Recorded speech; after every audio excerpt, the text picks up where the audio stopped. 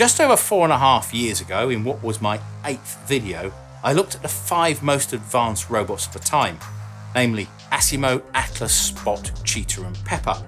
But just as a week is a long time in politics, four and a half years in the tech world feels like an eternity.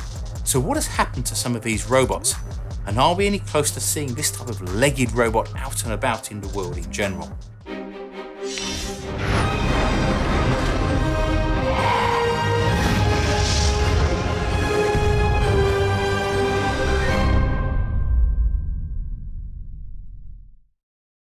This video is sponsored by Brilliant.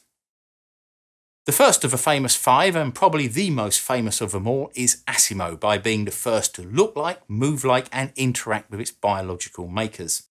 Asimo was created by the Honda company in Japan, and was quite a step change for a company more commonly known as a car and motorcycle maker. But Honda has not been afraid to diversify into different sectors, and the roots of Asimo go back to the 1980s with Honda's stated aim at the time to make a walking robot. The initial result was the E series, which from 1986 for 1993 would create an increasingly sophisticated series of walking robots, though at the time they looked like a pair of legs with a giant toaster grafted on top. But this was just a means to an end, and by 1993 the E6 could autonomously balance, walk over obstacles, and even climb stairs. The following P series looked more like a humanoid, with a torso, arms and legs, and by using wireless control could perform completely independently. This eventually led in 2000 to the ASIMO, or the Advanced Step in Innovative Mobility. The name ASIMO is also a nod in the direction of the writer and professor Isaac Asimov and his three laws of robotics. Asimo became a robotic icon, travelling the world and showcasing Japan's advances in robotics up until 2017, when Honda announced they were going to pull the plug on the original dancing robot. So why, when research into legged humanoid robots is becoming more widespread, did Honda pull out? Well, it seems after 35 years of research and leading the field for decades, Honda just couldn't see a payday for their humanoid robot. Maybe they know something that the others and the new startups which have sprouted in the past four years or so don't, but the tech isn't going to be stuffed into a cupboard and forgotten. Honda has said they will be using the underlying tech which they developed in new products and in their cars and motorcycles with things like a self-balancing motorcycle, sensors and AI software for self-driving cars and even down to robotic lawnmowers. They won't be pulling out of robotics altogether, but it seems there will be more money in producing these subsystems and other things en masse compared to the humanoid robots like Asimo, at least for the foreseeable future. While Asimo has been signed to the parts bin of history, Atlas, Boston Dynamics take on the humanoid robot, which has been seen doing parkour style running and jumping, but more recently has taken the dancing robot theme to a whole new level with the Do You Love Me video released by Boston Dynamics. Now it seems as soon as this was released, half the comments referred to it as being the thin end of the wedge, and that the next dance moves would be the ones used by the robots to dance on our graves as Skynet takes over. Now, it might seem like Atlas has gained some super robotic ability to dance better and more like a human compared to Asimo's previous dad dancing attempts. But this has not been gained by Atlas watching a human dancer and using some Skynet style AI to copy their best moves. No, this is nothing more than a dancing toaster, oblique, a very good dancing toaster. Now, what I mean by this is that it's not a result of a learned routine through AI, but what is effectively keyframing, a process similar to how animated characters in films and games are made to move.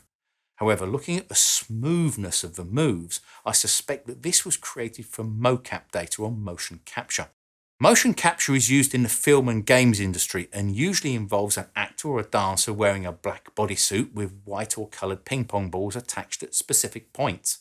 A computer then tracks the movement of the balls and maps this to a virtual skeleton. This can then be used to control a virtual character, or if the hardware is sophisticated enough, a robot like Atlas. This makes it much easier to create very realistic looking movement without having to hand code each keyframe. And if it was hand coded, the guys who did it should get a raise or work in Hollywood.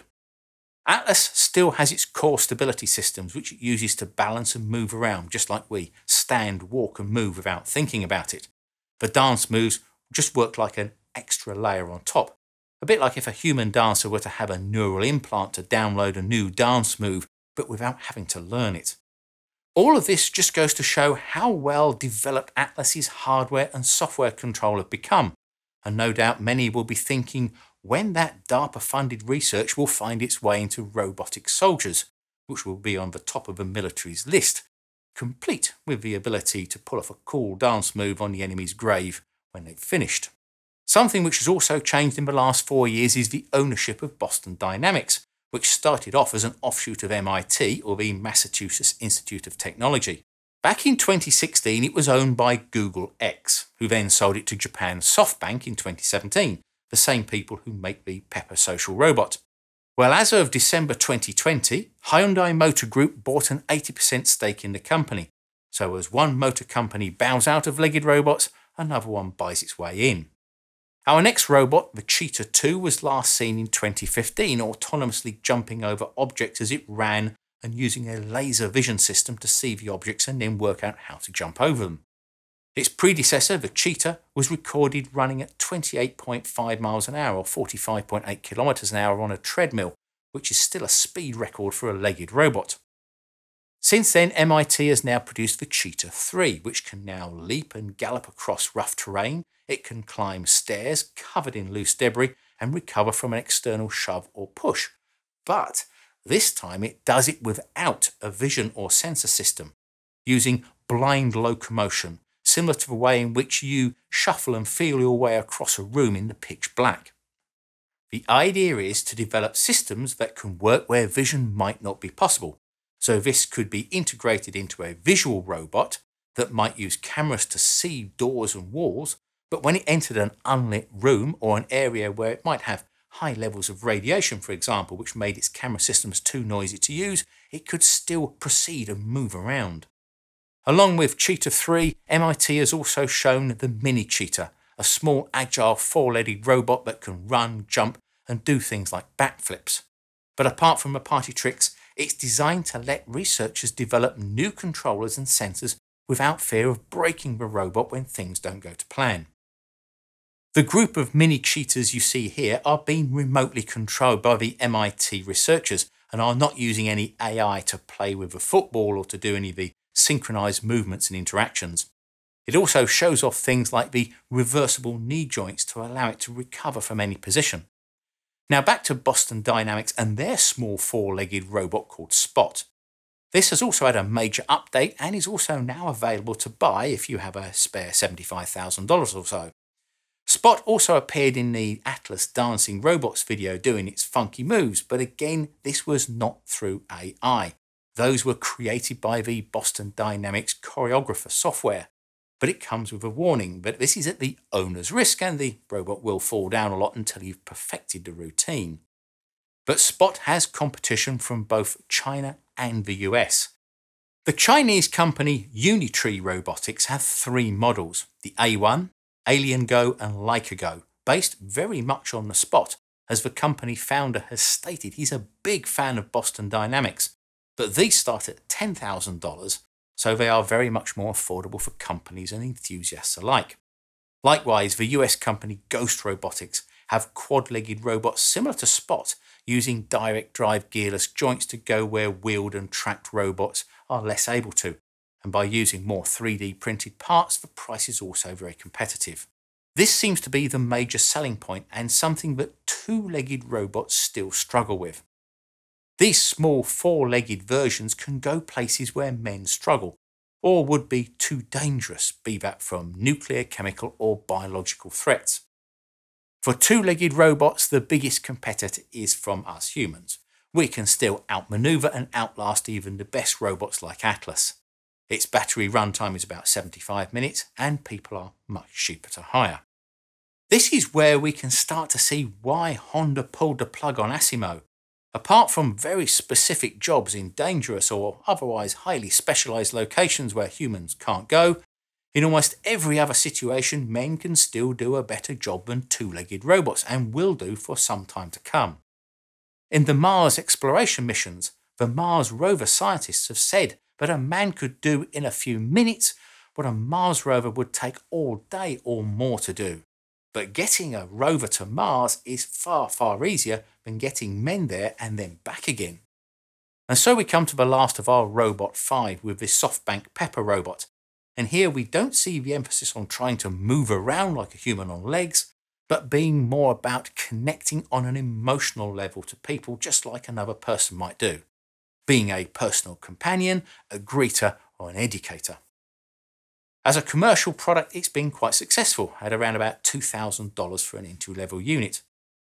The non threatening look, puppy dog eyes, and outgoing personality draw people and especially children in, and in no time they're talking to it just like they would another person. If anything, this is where I think we will see the most widespread use of the future robotic AI. Peppers are already used as companions for old people when there are no real people around, and although it may seem like a cheap trick, to many of the people who use them, they will prefer this to nothing at all. With the increasing capabilities of AI in the near future, this type of personal robot could easily pass the Turing test. That is to be indistinguishable in communications from that of a real human in a blind test.